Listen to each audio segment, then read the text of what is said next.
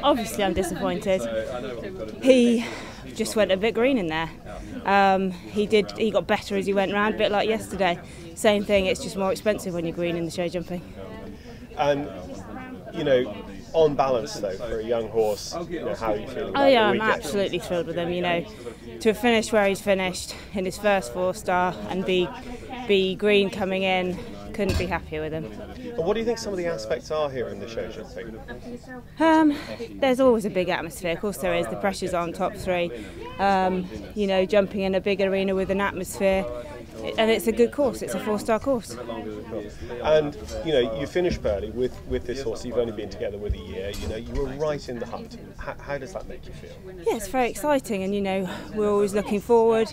We've got lots of homework to do. Um, we know we knew show jumping. His history previously wasn't fantastic, but the overall picture is very exciting.